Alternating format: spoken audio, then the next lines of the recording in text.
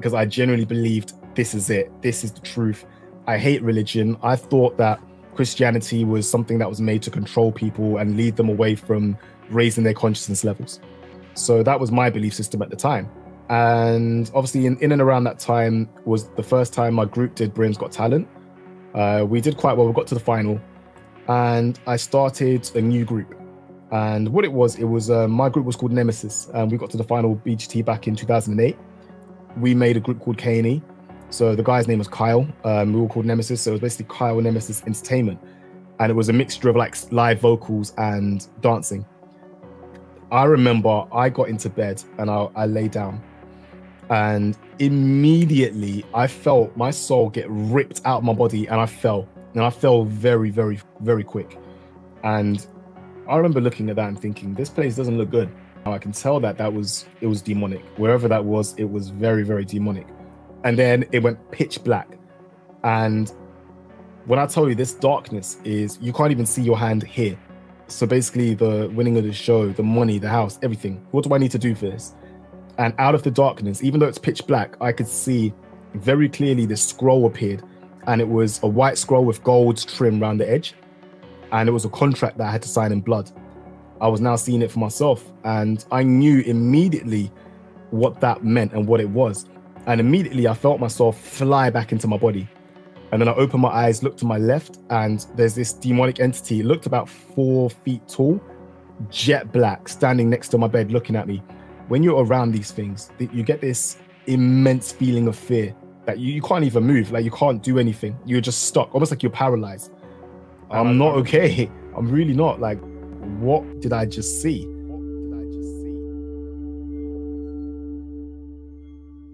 Hi, welcome to Touching the Afterlife. Our guest today is Isha.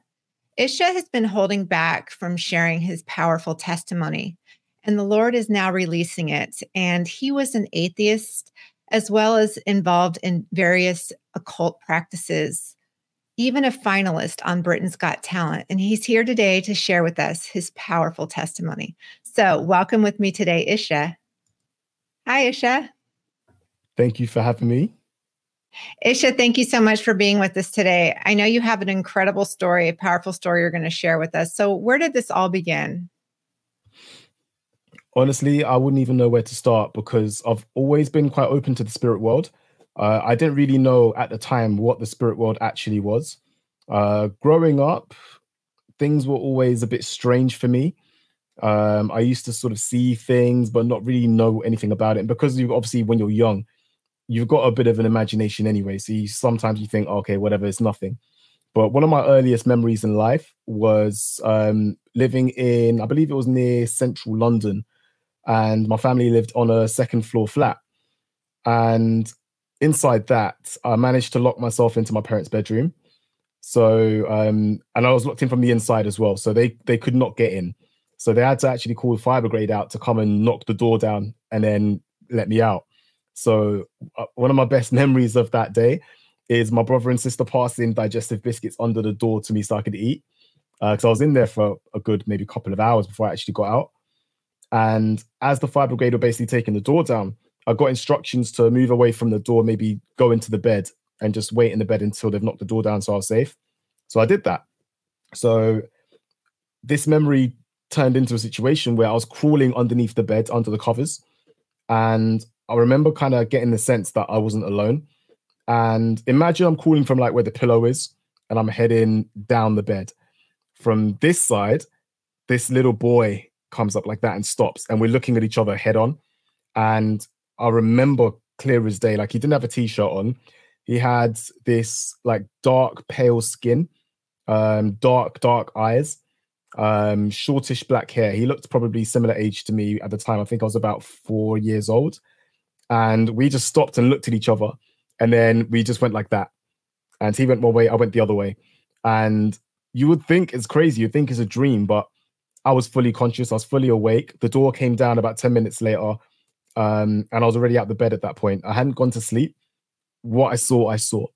So that was a bit of an indication that something had already opened a door in my life that I didn't open myself. I was already at that stage open to spiritual forces interacting with me physically. So that kind of set the stage for my early life, kind of growing up from there. So the next stage of my life was nothing short of traumatizing on a daily basis. So I used to get very, very serious spiritual attacks night after night after night after night. It was it was vicious. Um, I got on an average night, I'd probably have about five or six different uh, horrific dreams, like horrific. Um, and this went on every single night for years. And it got to the point I actually asked for help. Now, me and my parents at the time, uh, we didn't talk as much as we do now. So I didn't really divulge a lot of the information about what was going on in my life. But I spoke to my mum about this and she said, okay, maybe don't sleep on your back, try and sleep on your side. Maybe that will help you avoid the nightmares. And it kind of worked for a bit. And it's almost like the spirits realized that I was figuring out a way to avoid the situation. So mm. I would wake up and I would just roll on my back. Or not sorry, I wouldn't wake up, I would be in my sleep and I'd roll onto my back. And I, I would know that I've rolled onto my back in my dream because I'll be having a nice dream and then immediately it will turn into an attack. And mm. it would just be brutal, non-stop, non-stop, non-stop. Um, and it got to the point where I couldn't actually wake up from the dream. So um, after a couple of years, I realized that okay, if I can die in my dream, I will wake up and I'll wake up okay. So I used to try when I when I knew I was getting into one of these dreams, I could feel it because when these things are around you, it's like you can feel the energy from them. And for some people, it's this kind of feeling of absolute fear where you feel like you can't even move, like you feel paralyzed. And this was the early stage of that. It wasn't as bad, but it was like the early stages of that kind of sensation that I used to feel then. So I used to feel it coming. So I was thinking, right, I need to jump out of a window. I need to run into a road and be hit by a car. Like that's generally how I used to think in my dreams to wake myself up. And for a period of time, that worked as well. And then they realized, okay, that's what he's doing. So they'll then change scenarios. So if I'm trying to run out on the road, all of a sudden there's no cars. Or if I'm trying to jump out of a window, all of a sudden there's no window there. So those they started blocking that as well. They'll try and find any way to keep me there. Obviously, at the time, I didn't realize that I was spiritually traveling. I wasn't, my spirit wasn't in my body. So if they trap you out there long enough, it's like you have an empty vessel here that's just waiting for demonic possession or demonic influence to a high degree. So it's in their interest to keep you out of your body. So yeah, things things were like that for quite some time. And this but, was yeah, in your was, dreams. This was in your dreams, correct? Yeah every single night. I used to have at least six, seven of these every night without fail. Can you talk a little bit about is I'm not super familiar with the astral projection. I know you're going to go into that later, but is this a form mm. of it? Yes, um, it's a form of it. It was something that I was doing unconsciously from whatever age I could remember to tell you the truth. So astral projection essentially is a, um, a way in which you can separate your your spirit from your body. Now, there's a process that you can actually go through and learn, which allows you to practice it and then be able to do it on will. So I used to be in communities of people who used to practice it and they would manifest in your room if they wanted to. And I, it was it was really strange actually because I knew that I could do it and I knew it wasn't because I I was training to do it, but it was almost like a switch I couldn't turn on or off. It just happened when it happened, but I didn't have control. So as I got a bit older, I then kind of moved away from being more of an atheist and kind of moved into the New Age movement. And that's when I started learning all the techniques for how to astral project, how to train yourself, how to do it. Uh, the lucid dreaming, because they're not the same thing. Some people believe that lucid dreaming and astral projection are the same thing. They're two completely different practices. Uh, one of them is actually being conscious and being able to affect your dreams. That's what lucid dreaming is. So it's almost like you wake up in your dream and realize, hold on a minute, I'm actually dreaming. So then you can start manipulating your environment to have a better experience in your dream. That's what lucid dreaming is. Astral projection is when you physically remove your spirit from your body to the point where you can actually stand up in your bed, look at your body as if you're dead. Like some of the testimonies I've seen on your channel before, where people talk about, oh, I feel good. My chest doesn't hurt anymore. And then they look down and see their dead body and they're like, ah, I'm gone. It's similar to that basically, except it's a conscious choice you're making to separate your spirit. And you can actually see your body, you can see everything in the room around you, but things look different. Um, it almost looks like you've got supervision. You've got you've got powers you normally have. You could fly through the ceiling. You could just float away. Um, you've got amazing vision. I could see into people's houses. Um, it was it's it's some it's unreal. It's something else. But I didn't do it for the purpose necessarily of traveling.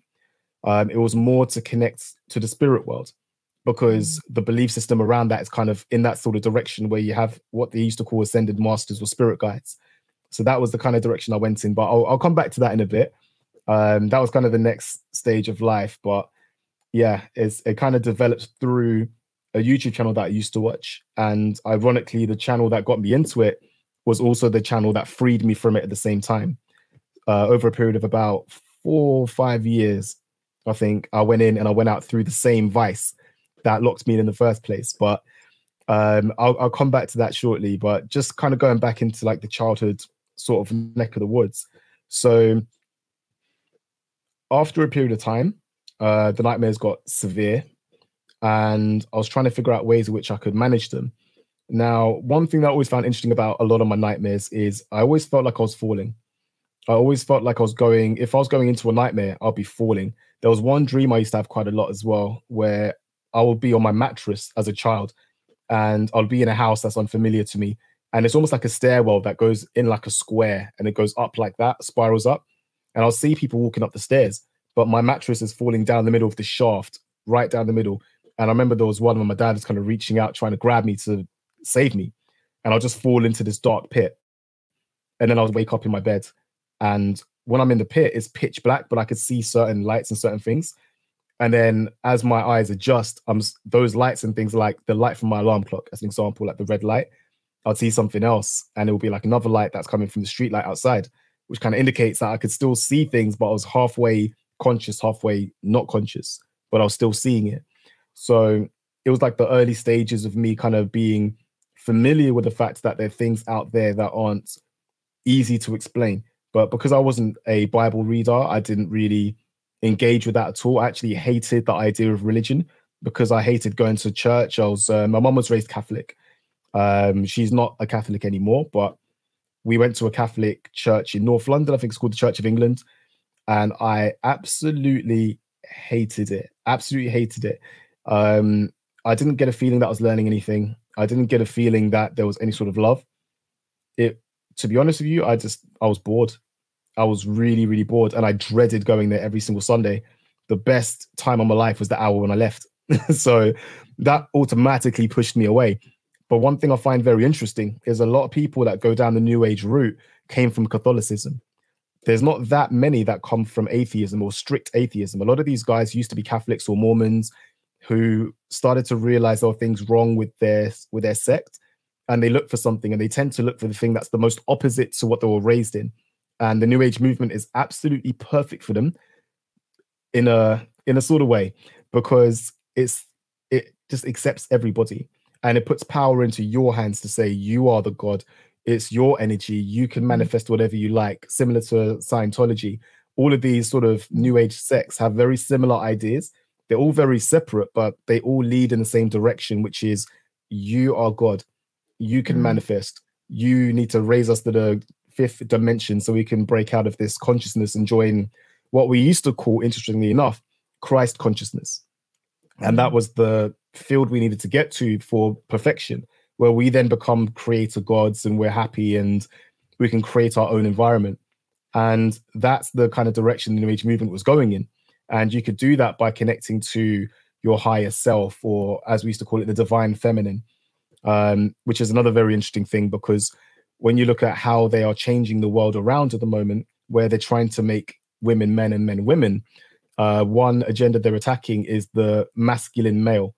It's quite obvious to anybody who looks at what's going on on TV to, to see that they're attacking masculinity. They see it as, like they say, toxic masculinity.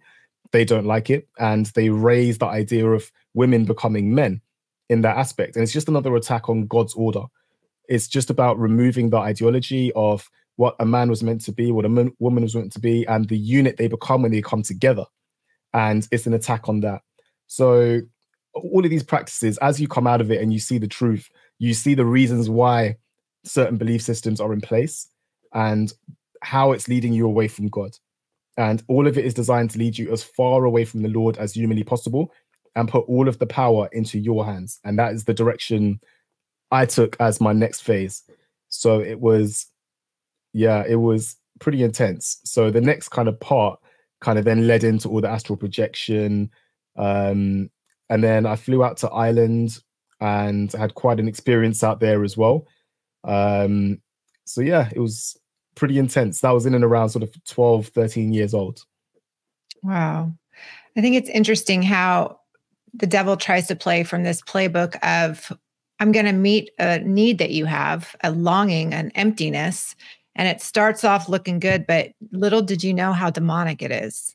So tell mm. us, Isha, how it went from there at 13. What happened next? Yeah, so um, I went from where I was at that point, and I was like, "Yep, I'm just fully atheist." Um, the dreams were still quite bad, um, and then as I kind of grew, um, what really triggered it? So this was probably nearer to about, I would say, 16 years old is probably when it started, and um, a family member introduced me to a YouTube channel called Spirit Science, and I remember watching a video, I think it was called the video of creation.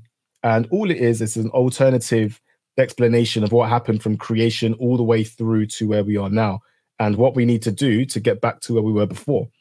Now, at the time, obviously, I wasn't a Bible reader. I didn't know any of the stories of the Bible. Now I kind of look back. Um, I'm still getting to grips with the Bible. I'm reading it. Um, that's one of the things I've really made a covenant with God recently to say I am going to get better with reading my Bible because if you don't know the Bible, you don't know God. So I'm making more of an effort to go through it. But I knew elements of the Bible from certain sections already, and I knew a lot of the stories, so I could draw parallels to what I was doing before and what I believed in, and what the New Age movement was trying to lead me towards. So, like we all know, right, the devil, he doesn't really create anything he uses us. We're the ones that create things, but he uses us to create his world and his vision, right? Now, if he's not creative, what is he going to do? He's going to counterfeit. So mm-hmm. the whole spirit science video, it mirrors almost perfectly with Genesis. So mm. it talks about how at the beginning we were amazing beings. We had this like um what's the word for it? It's memory, which was like like a movie. You could remember everything from your first day up until that point like a like a movie 4k like brilliant memory amazing vision you can see everything and anything all your senses are heightened. And that's basically a description of the spirit world and how we are when we go to heaven which ironically is what was like what it was like in the garden of eden before they fell. So it's again mirroring what happened in the garden of eden. And then it describes a time where people fell and there was a great fall. They call it the great fall they don't explain why it happened. They just say that we fell and we lost our memory, we lost a lot of our strength, our lives became shorter, and we fell down in consciousness. That's what they say it is. And then they say um, we have, a, I think it was about 24,000 years to go back to Christ consciousness. And if we don't achieve it, then we will never go back. So that whole ideology was you have to meditate, you have to raise your vibration, your energy, like people like to say and you need to raise that to a level where as if everybody gets to that level the energy fields around the world will be strengthened and you could raise the world into the next dimension which is going to be a much better dimension. Everyone's going to be happier. It's all love all singing all dancing. And the people that were doing this work were mostly called either like star seeds or uh, indigo children. And i remember asking someone what the difference was and one woman told me Indigo children were born bef- 1987 and before, I believe, and Star Seeds were after that. So they considered me like an Indigo child. Um, and for anyone who's wondering what this vibe is with Chris Brown when he's talking about Indigo, especially he made an album, I believe, called Indigo. Now you can see why. And that's why it's got all this sort of mystic pagan imagery on the video. And anyone that's been on his most recent tour would have seen very strange imagery, including like look devilish looking cherubim in the background, like massive statues. When you know these things, you start to draw the lines and you see, okay, they're, they're telling pagan stories essentially, but they're hiding it and wrapping it around things like entertainment and artistry and spirituality is like basically the, the buzzword for it, right? So they're just hiding it in plain sight. So I was learning all of this knowledge and I was like, oh my days, this is the truth. This, this is it. This is what I can do because people always want to get their hands on something that is tangible. They don't want to have faith. People want to have control. But mm. what that is is pride. People right. want to have that pride to say, I, me, I did this, I did that, my works did this. And that's ultimately what led people to fall in the first place. They believed, oh, well, I need to have all that knowledge. Why is God holding out on me? That's the lie that Satan told Eve in the Garden of Eden. And it's the same lie that he's telling us now. You guys have got this. You guys can do this yourself. You need to raise your consciousness level. You've got to work hard on that. And together we're going to come up to the fifth, fifth dimension and live amazing, beautiful lives. Um, and a lot of people that believe that will then wake up in hell and they're not going to be happy that they were deceived so easily. Um, and I went all the way down that rabbit hole. Um, and it all leads in one direction. Once you go down that way, it leads down to the alien deceptions. And I found my way to things like the Pleiadians. Um, so there's a whole belief system of aliens in space. You'll probably see it from ancient astronaut theory and stuff like that. It's always on History Channel and Sky, um, interestingly enough. And they'll talk about things like this, like the ancient civilizations, and they'll always attribute it to aliens, but never do they consider the fact that these aliens could actually just be demonic spirits from another realm. Uh, they always have to say it's, it's aliens, when in reality it's just demons and fallen angels. They're essentially the same thing. It's just Hollywood has trained people to see aliens as one thing and demons and God as another. So we need to bring those things together because they're very much the same. Now, I used to watch videos of people channeling alien entities. Um, I, I think they used to call it the Council of Light. And the belief system around that is there's an alien galactic federation that it wants to help mankind, and we're trapped in this prison and we can't get out of it. So they're basically trying to help us spiritually. They're going to send people down to help us, and they're going to raise the consciousness level so that we can break out of this um, 3D prison and come into the fourth dimension and the fifth dimension, and then join our space brothers and sisters in a better life where we can travel around the solar system. That is kind of where that belief system goes. They also have things like the Archons. They believe in uh, the Anunnaki, which is also on the History Channel on the ancient alien theories. They believe the Archons and the Anunnaki were the ones that actually created mankind. And they have the drawings of these beings, very, very tall, with like almost like pelican heads and they're they're actually drawn on the side of Egyptian uh, temples and pyramids, and they believe them to be the Anunnaki, who were the ones that came from space and they fought a, a galactic war. They took over Earth and they enslaved all of mankind to do all of their work, and we're still on the roll now. And this this whole reptilian theory that we're controlled by this reptilian race, um, which is also very interesting when you look at some of the testimonies I've seen on some channels and they describe some of the demons they see in hell as having scaly skin and eyes like reptiles. So if that's not another indication that you're being deceived and that mm. what you're seeing are actually demonic entities masquerading as aliens or something else, the parallels become very, very obvious. And it was mm. quite fortunate for me because I've always had the mentality that, okay, look, I'm quite strong in my belief. However, I will always entertain the idea that I could be wrong because I always want to ensure that I'm on the right path, no matter what it is. I don't want to be fooled or misled, even though for a very long time I was, because I genuinely believed this is it. This is the truth. I hate religion. I thought that Christianity was something that was made to control people and lead them away from raising their consciousness levels. So that was my belief system at the time. And then I went to the next step where I was, I was starting to actually practice astral projection. Um, this was in and around 2020, I'll say 2014 roughly. I started practicing it because I couldn't do it on will. Um, and I wanted to be able to just lie down, meditate, bang, I'm out and I can fly around and have fun. So I started practicing the techniques. I watched a lot of videos on it. Um, I started practicing quite a lot. Now, nine times out of 10, when I tried to do it, especially at night, I'll just fall asleep. But then my spirit would separate by itself because I had it from birth. I was always open to the spirit world.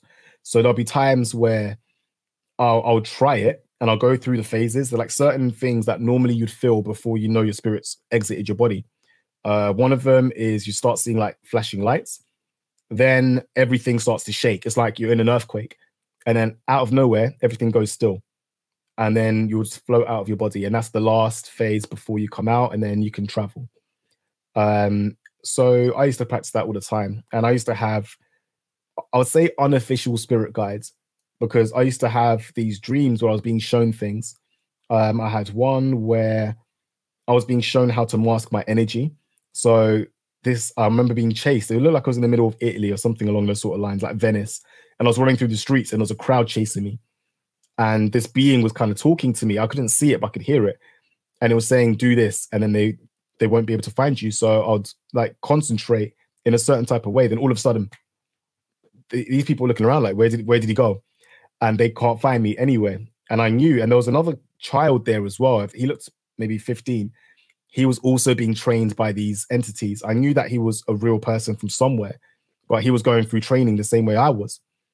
And that was just one example of all the things they were trying to show me there was another dream that I had where I was trying to project, and they were showing me the constellations in the sky because these things are very important to them. They base a lot of their ideology off what the stars are doing. So they I remember I was flying through space. Now I believe this potentially to be either in the second heaven or leading towards the second heaven. And I was flying through space and I was seeing planets just flying by. Like I was going at a ridiculous speed.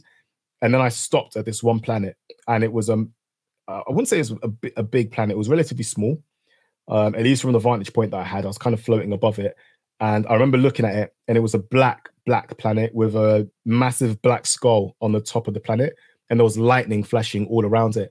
I remember the voice because they don't talk to you like we talk to each other. It's it's telepathic, so I could hear what he was saying, and he could hear what I was thinking. And I remember him saying to me, "This is where we're from." And I remember looking at that and thinking, this place doesn't look good. But mm. I'm still not putting everything together at this point because I'm I'm still not going down the route of I might be wrong.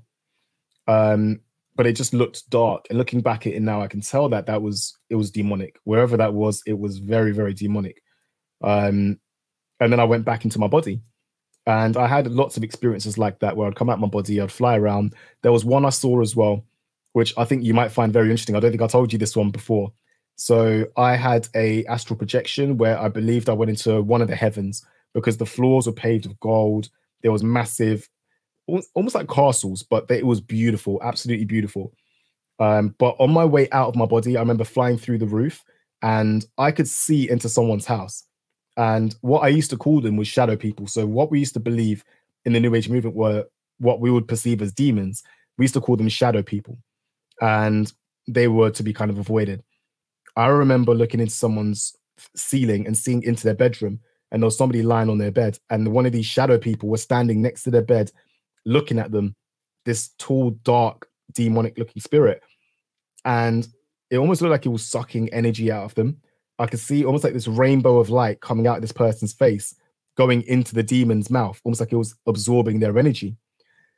And I just saw it as oh, the shadow people are just because they feed on fear. That's what we believed. Um, it's just feeding on fear. Nothing's gonna happen to the person. They're asleep. It's fine.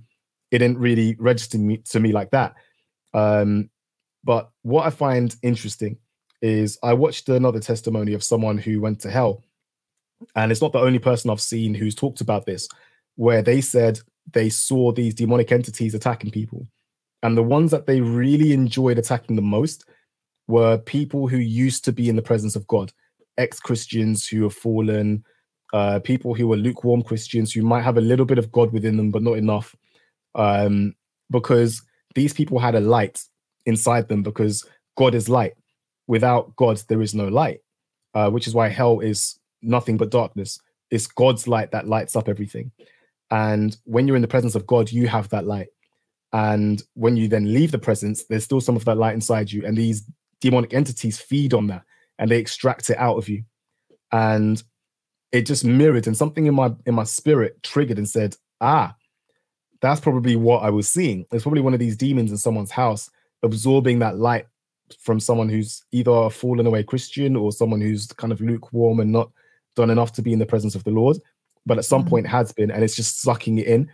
And immediately I was like, I, I know what I saw. I know what I saw. and it was it was terrible. It was terrible. And not too long after that is the first time I really asked the question, what am I doing here? And at this stage, I was I was kind of open to a lot of different things, but I was still kind of adamant. I'm on the right path. What I'm doing is correct. I'm good. I was involving other people. I was telling people about what I was doing. Um, I had my spirit guides that were helping me with the knowledge, like I told you earlier. Um, but something just felt wrong. Now, this is where God is truly amazing because the person I am right now is completely different to the person I was back then. Um, and God did absolute wonders bringing me out of where I was because I didn't ask for his help. Like, I didn't call for him. I didn't say, save me. I didn't even know I needed to be saved.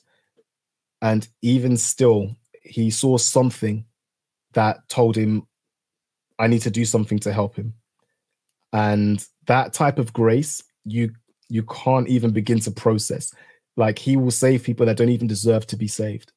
And I don't feel I deserved it at that stage. I didn't I don't feel I did anything even remotely close to deserving his mercy because that's ultimately what he gave me. So God always works in mysterious ways, like they say, right? And he'll give you signs. He doesn't always answer your question directly. Um, sometimes he'll just throw you something that tells you, okay, I I hear the message, I'm gonna do it. Some and I get that a lot. That's more what I get. It'll, if I pray on something and I ask him something, I will get loads of different things thrown at me that gives me the answer I was looking for, and very quickly. Um, and there was one day, so Spirit Science was the channel that got me into all of this belief system in the first place. Um, so one day, I'm on YouTube looking for a Spirit Science video, and up pops one of the two main guys that made the channel. And he has got a testimony on there saying he's now left the channel. And I was like, okay, maybe he had a dispute with the other guy or something, right? And I watched the video and it was basically him talking about how he had a run in with Christ. He was really depressed. He wasn't happy. He didn't enjoy life. And Christ appeared to him and saved him. He then had a deliverance where he had to have the demonic entities taken out of him at church. Um, he went into a church and he was convulsing. Um, he had a terrible time. He was being attacked severely. Um, and eventually he was delivered and he left the New Age movement. And then I thought, hmm, this is one of the main creators. And obviously, this is the first time I'm hearing of an encounter with Jesus because that's not a name I heard much. So then I thought, this is strange because he described in his testimony that he questioned the beings because he had ascended masters and uh, spirit guides and things like that. And he he mentioned in his thing that he started questioning them to say, "Who are you?" and "Do you know Jesus? What is your relationship to Jesus?" He started asking those questions, and they started to manifest as the dark demonic entities they actually are because like we said they masquerade as angels of light so they can turn into whatever they believe you'll receive the best they're not going to show up as something that you're going to run away from because you're not going to listen they're always right. going to turn up as a family member a friend an animal something cute something they know you need and they'll give that to you and you've got to bear in mind that these demonic entities have assignments from your birth they are with you your entire life same as your same as your guardian angels. The demons are there as well in in hordes. You have multiple demons on you every day for your whole life. They know everything about you, and they will give you information. Which is why some of these people that do channelings, they sometimes will get credible information about someone because they're not talking to a dead family member. They're talking to the demonic entity that's been following that person their entire life. These demons know you better than you know yourself, which is how they can deceive you and send you these thoughts into your mind that makes you sin. And then you think, how did how did I do that? Why did I do that? But they know the triggers, they know what to give you to lead you to sin. And they will do everything they can subtly just to move you over, move you further, move you further away from the Lord. And that's that's their goal. That's all they do. And I, I watched that and I thought, okay, this is weird because I've got spirit guides.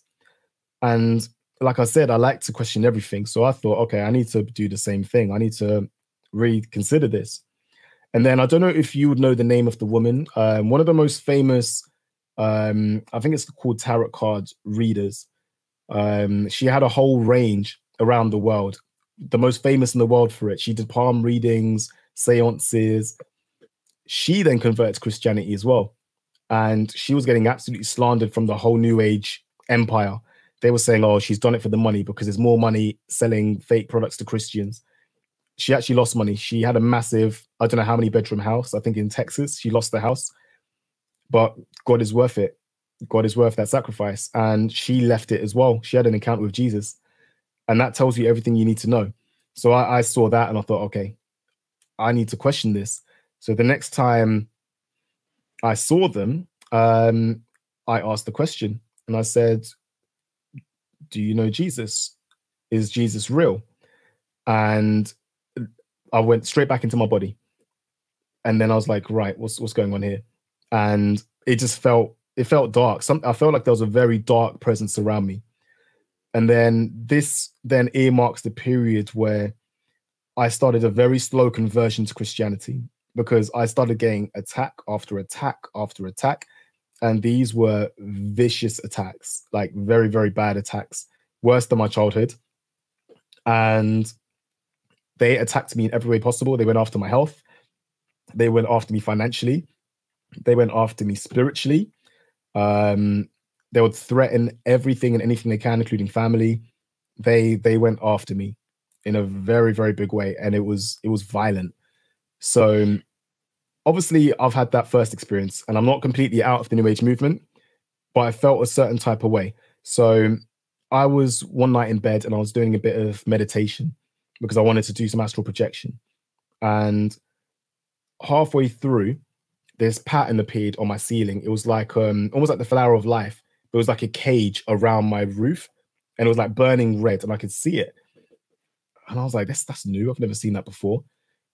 And then I remember falling asleep, but I was like, it was like I sucked out my body, and I was in this massive field, like a grassy hay field, and I looked up, and this giant demonic-looking old man's head was coming down from the sky with his mouth open like he was going to eat me. And I knew because when you're in the spirit world, everything is more real than it is here. You can't, it's hard to explain unless you've actually seen it or felt it, but your senses, your feeling, pain, hunger, tiredness, everything, your vision, all your senses are heightened. It is way more real than what you feel here. And I knew this spirit was coming to eat me. I knew because of what I felt before. So I knew then it was a demon. Now, I wasn't thinking in the sense that, oh my days, I need to call out to anybody because I didn't know who to call out to. But I knew that something was coming to eat my soul. And it just kept, it probably got to about maybe five or six meters from coming down to me. And then it disappeared.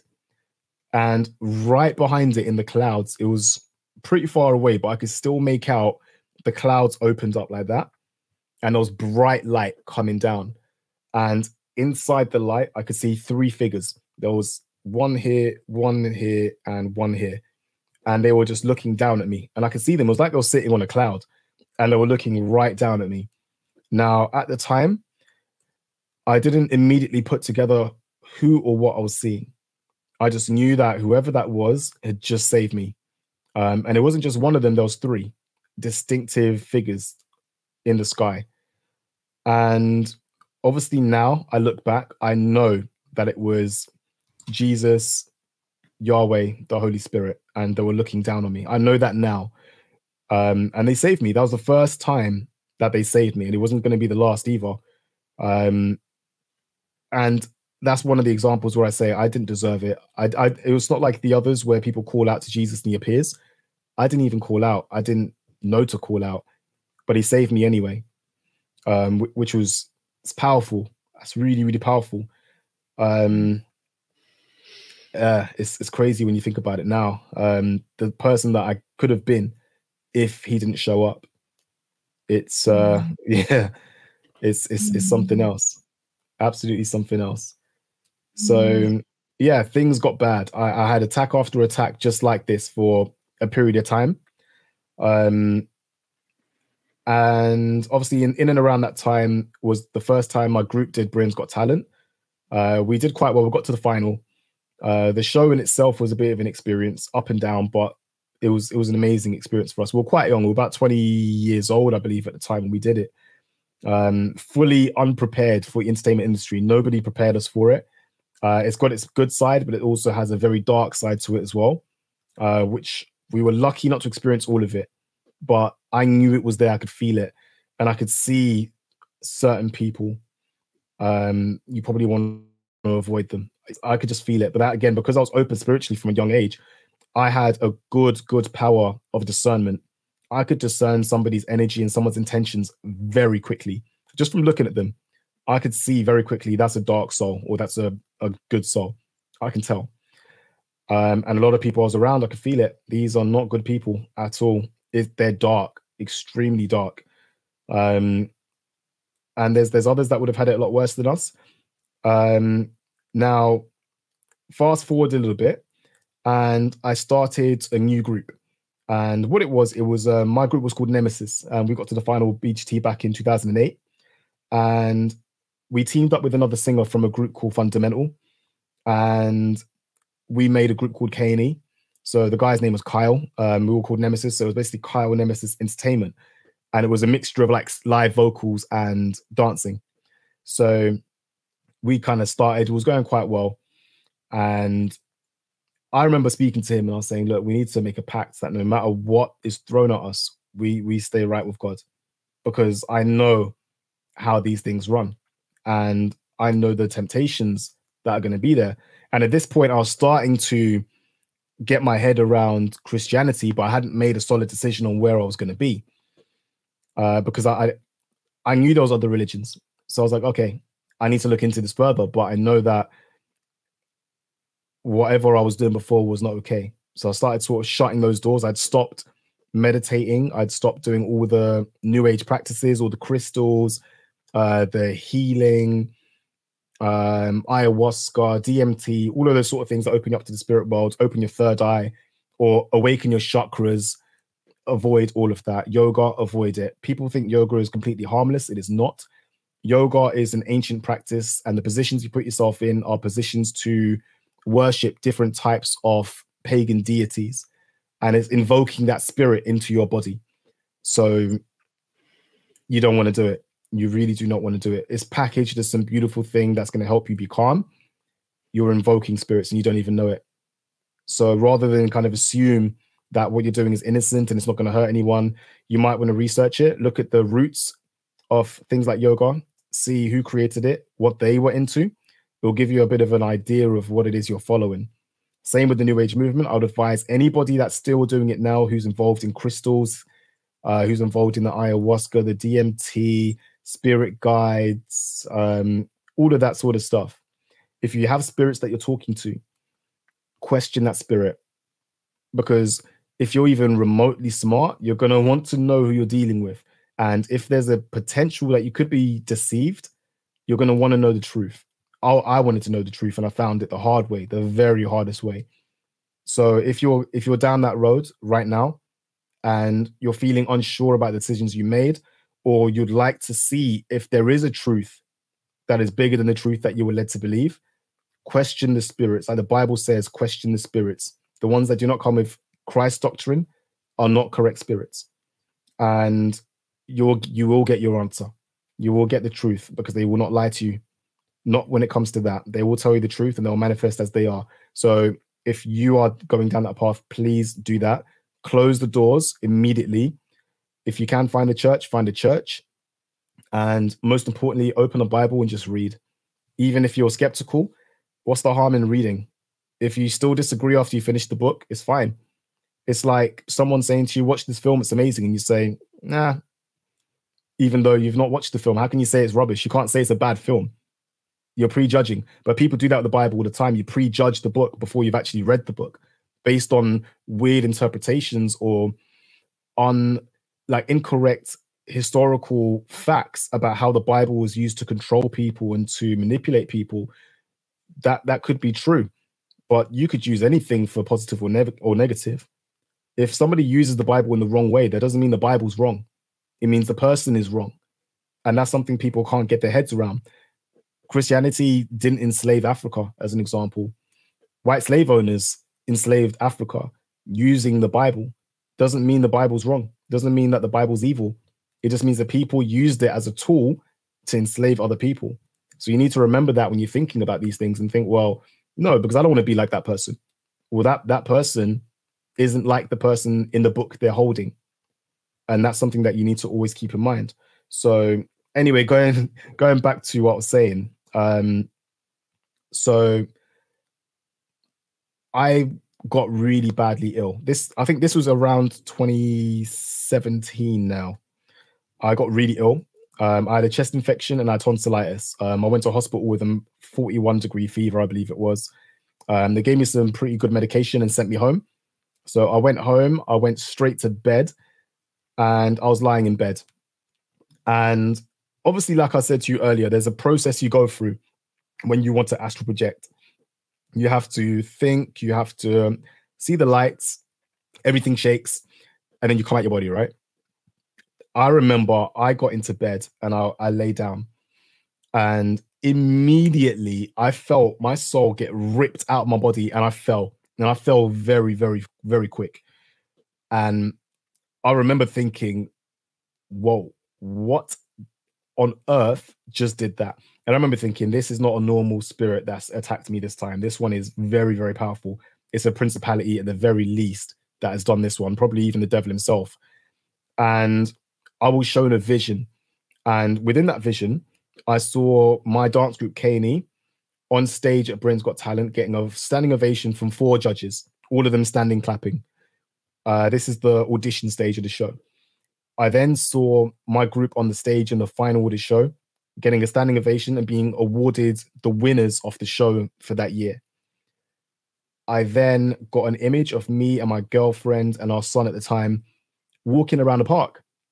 And it was beautiful. You could tell that the area we're in was amazing. We had a massive house. We had loads of money. We were rich beyond belief. And we were walking home. And I remember opening the front door to go back into the house.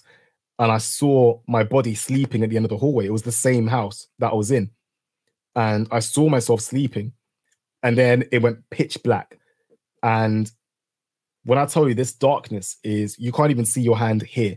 It is darkness. I don't know if that's the second heaven where um, Lucifer is, or whether that was hell itself, but it was complete and utter darkness. And a voice from within me, I don't know if it was my spirit talking, was saying, What do I need to do for all of this? So basically, the winning of the show, the money, the house, everything. What do I need to do for this? And out of the darkness, even though it's pitch black, I could see very clearly this scroll appeared and it was a white scroll with gold trim around the edge, and it was a contract that I had to sign in blood. Now, luckily for me, because I like to do my research on things, especially if I realize something I've been doing isn't right, I'm going to research it like there's no tomorrow to figure out what I was doing wrong. So I'd seen lots of videos of people talking about being offered a contract by the devil. I'd never really quite believed it, but I was now seeing it for myself. And I knew immediately what that meant and what it was. Now, I didn't even have to say no to the contract. I didn't even reject the contract. I just had the thought in my head, and that was enough. The spirit can hear your thoughts. And immediately I felt myself fly back into my body. And then I opened my eyes, looked to my left, and there's this demonic entity. It looked about four feet tall, jet black, standing next to my bed, looking at me. He didn't say anything, but when you're around these things, you get this immense feeling of fear that you, you can't even move, like you can't do anything. You're just stuck, almost like you're paralyzed. And I, I remember looking at it and it, it stood there and then it started slowly disappearing. And then my partner walked into the room just behind it as it disappeared and was asking if I was okay. And I was like, I'm not okay. I'm really not. Like, what did I just see? Now, fast forward about two weeks, I get a phone call from ITV saying, We want your new group on our show and the timing wasn't lost on me that I got an offer for my group to win that sh- that show. If I sold my soul, we would have won that show. And at first, I said to the guys, "I don't, I don't want to do it." and then we thought, you know what, actually, let's let's just give it a try. It's a bit of fun. We're not going to take it seriously. And then we got knocked out in the semi-finals, and there was a, a, lot of things that happened. I'm not sure if I'm contractually allowed to say exactly what happened. Um, I know that the week of the semi-final, our music got completely changed, um, so we couldn't use our music that we had prepped up until that point, which meant we had to hmm. change our whole routine. So hmm. we went out in the semi-final stage, um, and then after that, we kind of toured for a bit, and then COVID came in, and then that shut down the whole entertainment industry. So we didn't really do any work at that point. But by then, I'd already made the decision that Christianity is the route that I'm going to take because I researched all of the religions. I was like, I can't, I can't be wrong again. I can't be wrong again. I need to make sure that what I do next is going to be the right path because there's a lot at stake here. So I researched Islam, I researched Judaism, I researched Buddhism. Now, Buddhism I wrote off very quickly because it's so similar to the New Age movement. Um, the way you do things, um, the idea of the energy and things like that was just too similar to New Age. So I, I wrote that off immediately. I was like, no, um, I'm looking for something that doesn't match up with what I was doing before, because it's more more likely that if something shares ideologies, especially so closely with what I was doing, that was virtually, it, well, not even virtually, it was Luciferian then I know there's a very good chance that it's been tainted by the same brush. So I need to move on to something else. So I research, research, research. One thing I noticed is every single one of those religions are works based. You go to heaven or you go to nirvana or you go to wherever your holy forever place will be because of how many good things you do in this life. Your good thing can outweigh your bad. And as long as you do enough, you'll end up going up there and you're good. That is pretty much every belief system that I saw. There were smaller things within those belief systems that I didn't like, some things in Islam, some things in Judaism. But then with Christianity, when I read the Bible, you have this immediate knowing of truth. And I read it and I was like, this is it. This is the truth. It explains perfectly. Then I started to research and realize that Jesus is overarchingly seen as the savior. And then I thought, isn't it interesting that because I, I'm, I'm I'm very logical in how I think. I always like to think, okay, what makes sense here? There's always patterns and things. You can always see patterns, right? And I found it very interesting that all of the, I'll say the big three, right, which would be Christianity, Islam, and Judaism, all of them have one thing in common. They believe the Torah, the Old Testament, and they believe in Jesus. I find that very interesting. However, the Bible, if you read that, it doesn't believe in Muhammad. It doesn't believe in in the Kabbalah or Judaism as a whole as it is now. It rebukes them, but it does not. It, it just doesn't agree. But the others have to agree with that. But then they change small things, like in Islam, where they say, okay, well, Jesus is only a prophet. He was great, he was amazing, but he's only just a prophet, right? So they re- reduce what he was. Um, and then I thought to myself, isn't it interesting that they have to do that? Because when I think about the perfect lie, because the New Age movement is exactly that it's perfect lies with a little bit of truth. Um, oh, sorry, it's the other way around. It's a lot of truth with a tiny bit of lie.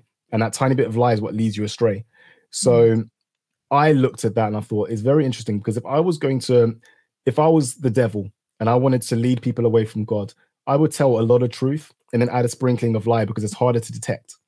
Now, everyone seems to agree with this book, other than very small parts that change things, but that very small change is just enough to lead you away from the creator. And it's the only one that did that. And I found that very interesting because that fits in with the perfect lie theory. So immediately I thought, okay, there's a red herring there. These guys seem to be agreeing and also perverting the message of this particular book. And then you look at the world. I was I worked in entertainment. I've seen how things are you can mock Christ, you can mock Christianity all day long in entertainment, and no one will bat an eyelid. But do you ever see anybody mocking Muhammad at the Oscars, MTV Awards? Do you ever see that? Do you ever see anyone say anything about Judaism? Because it didn't go well for Kanye. so, I mean, people don't do that, but yet you see Lil Nas X putting out music videos of him on the cross, and people just have to be okay with that people mock Christianity all day long in entertainment, Sam Smith, all these other artists, Beyonce. Um, and one thing I wanted to add when it comes to the music videos, if people watch these videos and truly understand them, you will start to realize that what you're watching is a baptism into Satanism. In Christianity, for anyone watching who doesn't already know, baptism is almost like a um, visual representation of your rebirth into the faith. So you're cleaning away all of your old sin yourself and you're coming out reborn, which is essentially what baptism does for you. Now, imagine the same process in reverse, and you're going into the world of Satan because, as we know, Satan doesn't create, he counterfeits. So he takes the idea of baptism and changes it into baptism into his kingdom, which is the kingdom of this world. Satan owns this world, he runs this world. Anything you're going to get from this world to a high level, you're going to get from him, unless God blesses you enough to allow you to have those things. Otherwise, it's coming from him.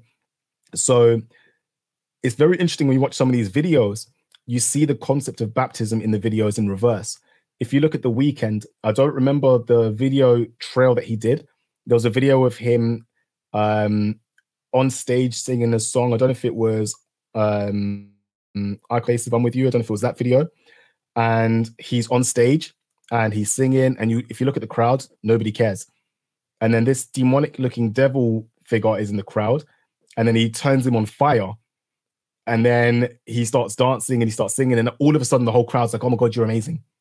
That is almost like a baptism into Satanism. And he sees the same figure over and over through the same video and other videos as well.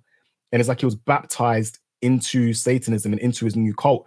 And it shows the process of, oh, just sell your soul and you'll be famous tomorrow. Sell your soul and you're going to become the biggest recording artist within a week. That's what these people do.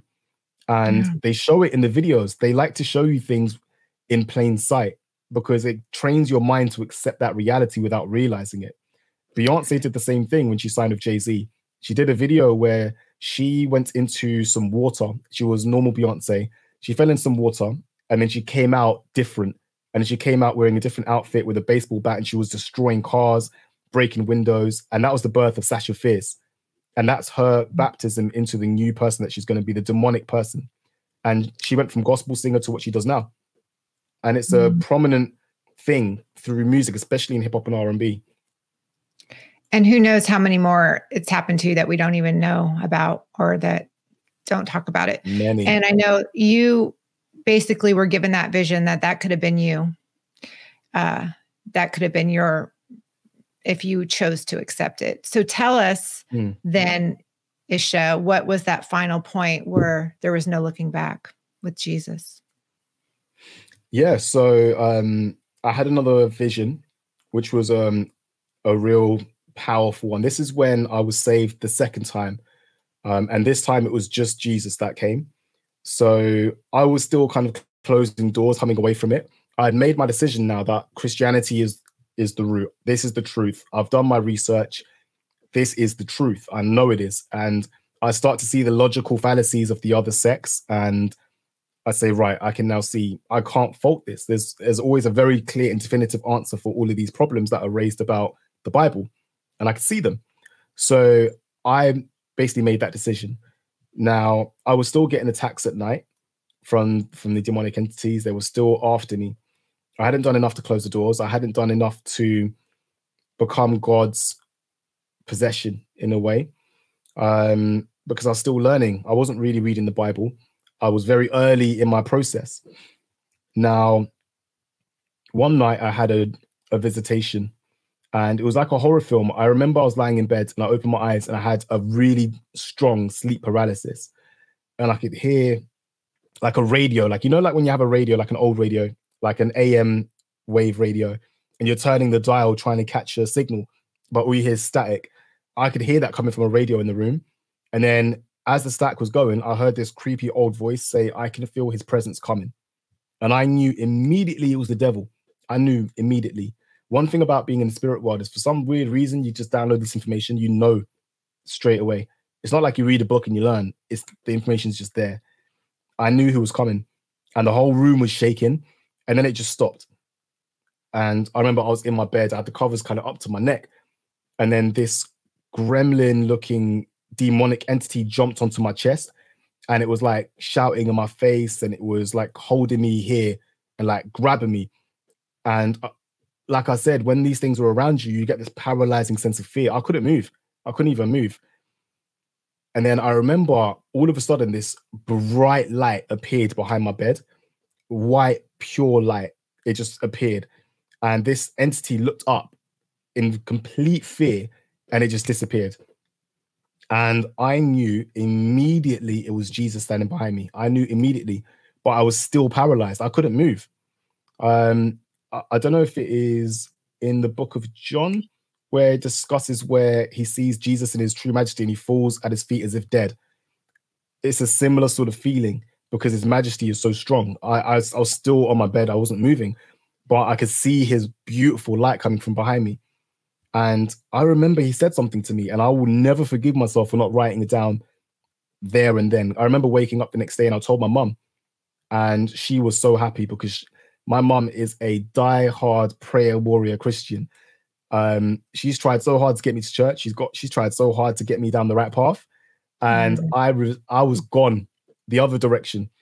Ishe, you know what I noticed, which I absolutely love, in a lot of these testimonies of salvation and finding the truth, is that there's always a praying mom or a praying aunt or a praying friend, and I see this common theme, and I see that with you. Praise God, your for your mom praying for it's her. It's honestly son. amazing because, like, like the Bible says, man, people, God likes to hear people that pray in groups. Um, multiple prayers will help you. And there was one case in the Bible where someone was saved purely because of the prayers of their friend. So prayer mm-hmm. is powerful.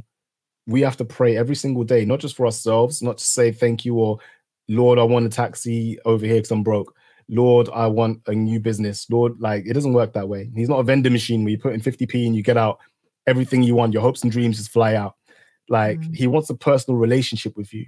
Yeah. And you got to talk to him like he's there. You got to talk to him like he's your friend because he's always with you and he wants that relationship with you on a day-to-day basis. And having people around you that can pray for you, especially a parent, a friend, uh, a church they can go to where there's some good, good Christians there that will pray hard is so invaluable. So, so invaluable. Um, funnily enough, I watched the testimony of a guy from Uganda. Uh, you've, you've probably seen it as well. Um, of the guy who was married to a witch the day he was born. Have you seen that one? No. Ah, oh, it's it's an, one of the most incredible testimonies I've heard in my life. And he was a very high ranking witch. And I remember there was a part, and it changed me a bit because I didn't realize the power of prayer until I saw this. He talked about how um, there was a, a group, there was a one uh, pastor and I think 19 women that he was praying with. And they made a covenant with God. They will pray for six hours every single day for 90 days. And he was sent on an assignment to make sure that whatever happens, they do not get to the end of those 90 days. Because if they do, they would have to cease all operations in the area for 75 years. That's how powerful the prayer would have been. And it just kind of dawned on me. And it wasn't just the fact they were praying, they were praying in a group and they were praying mm. for a sustained period of time. And it was every single day. And they made, and not just that, but it was a covenant with God. When you make a covenant with God, stick to mm. it because yeah. it is so important. And it rained into me, oh my days, just because these people were praying, it they wouldn't even be able to operate in that area just because of the power of the words that they were saying. But then it makes you think, well, the, how was the world created? How was the universe created? God spoke it. He didn't mm. just kind of make like wave a Harry Potter wand or something like that. He spoke it. So there's power in the words, right? So mm. when you start to realize that and you think, my days, my connection to my Lord through prayer is far more powerful than anything I could possibly ever imagine, it makes you want to pray. It makes you want to pray for others. I it's just beautiful. read something earlier today about how sometimes when you're in a waiting season or maybe there's not a lot going on and you're like, why isn't God doing this or that in my life? I think oftentimes there's these opportunities to pray, pray more because Satan does want to keep us busy and distracted, you know? Mm, 100%. He wants to keep you away from your destiny. He will yeah. provide you with any tools you need to fail because Satan's got books on books on your entire life. He's been with you, him and his demonic entities have been with you your whole life. So they know you better than you know yourself. They know your triggers. They know your depressions. They know things that will hurt you, right. things that will tempt you. they will send you anything to stop you from doing what you need to do. So you've always got to remember what's important, and that's your relationship with Christ because it's personal. Yeah, and that kind of goes back to earlier what you were saying um, with the the Christians that have the light, but the devil wants to bring that out, and the demons want to suck it out of you. And the importance, and that's why Jesus warns us: do not be lukewarm. And there's the spiritual ramifications of that. Mm. Yeah, hundred percent. Because if you're not right with God, and if you're not doing the right things, then you will be deceived because the Bible says, My people perish for lack of knowledge. Knowledge is what's going to help keep you away, which is why your foundation for your Christian house is the Bible. You build your foundation based on the information of the Bible, and then you can start building the the walls, the door. You build your house, and no demonic entity can go into that because you have a mm. solid foundation. You've got all the tools you need for spiritual warfare because a lot of places don't teach spiritual warfare. They don't teach you that these demonic entities are with you. They are using every weakness you have under the sun against you every day.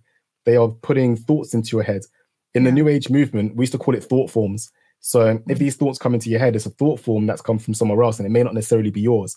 It's the same concept, but in reality, we I now know it to be demons that are putting thoughts into your head and trying to change your energy and trying to make you feel a certain type of way.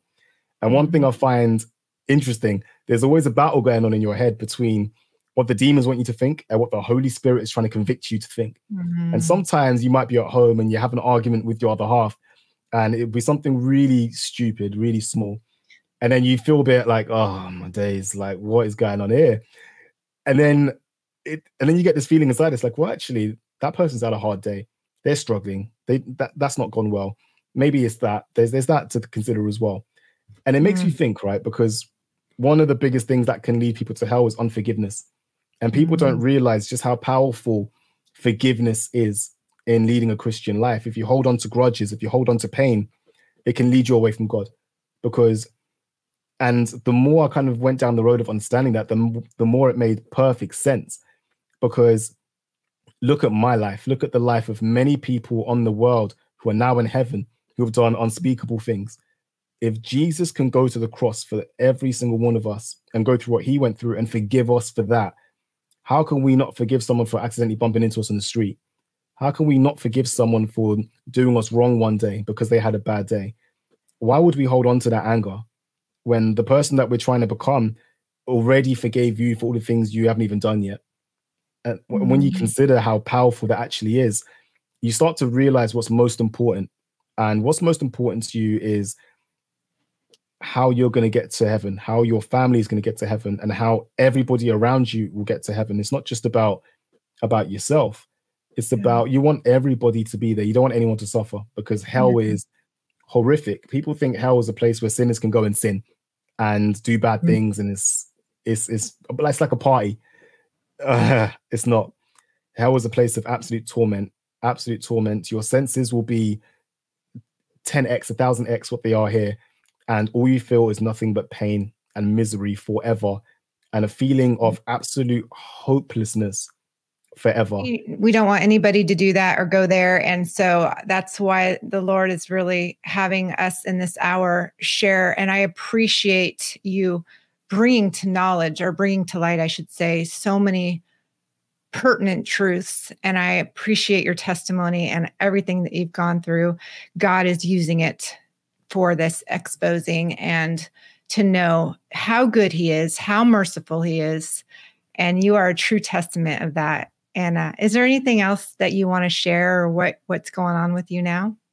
Yeah, um, there was one other thing I wanted to add. Um, well, actually, so two very short things I wanted to add.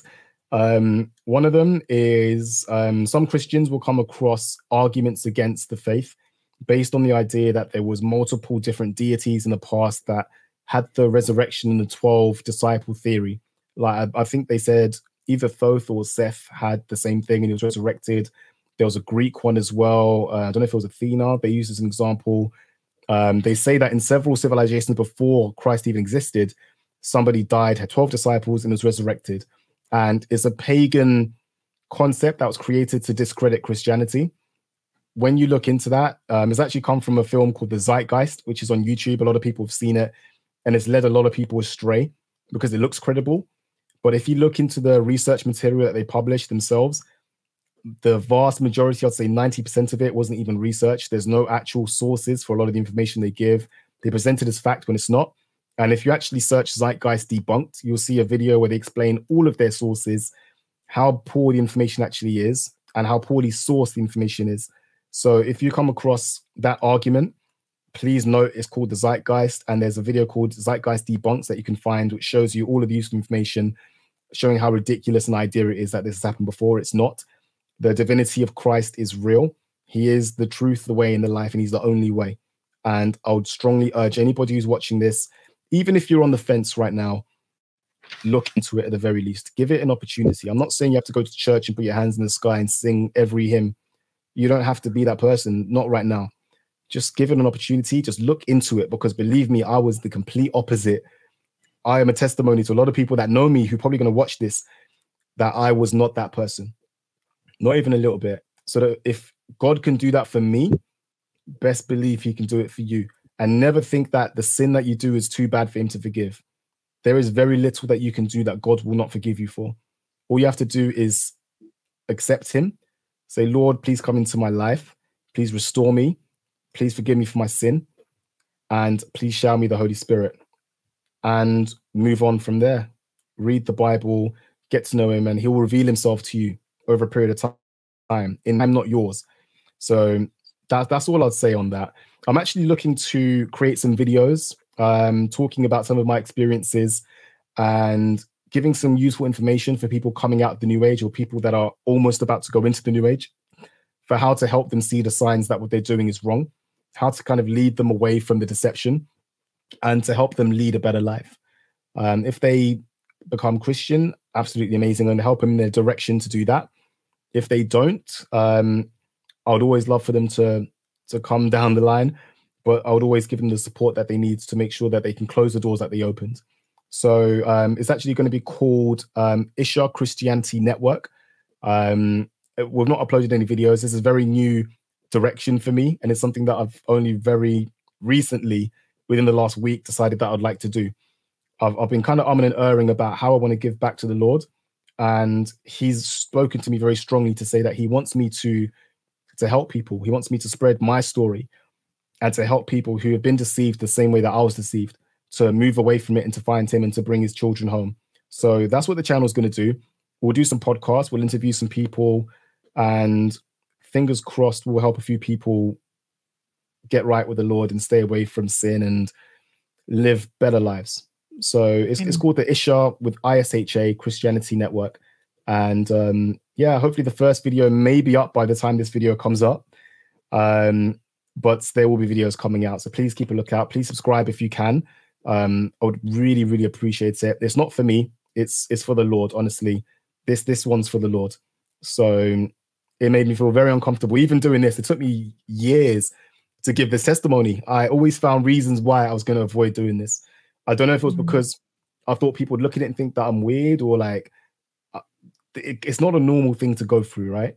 A lot of people mm-hmm. feel like they're they're going to be judged when they talk about things like this that happen to them, but really, how I look and how I sound, I couldn't care less because if this testimony saves just one person, then it's completely worth it.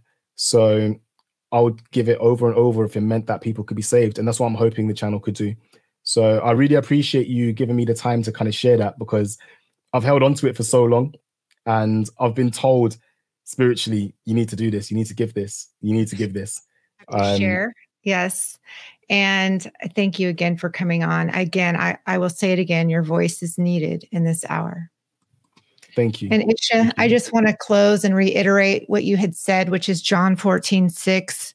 Jesus says, I am the way and the truth and the life.